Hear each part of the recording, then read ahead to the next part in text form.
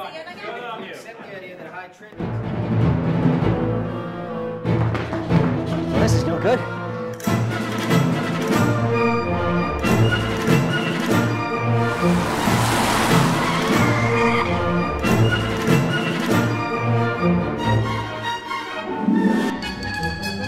May I help you?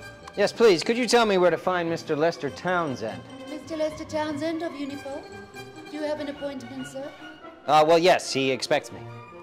Your name, please? My name? Yes, please. Kaplan. Uh, George Kaplan. You're not Mr. Townsend. Yes, I am. Do you know this man? He's been living.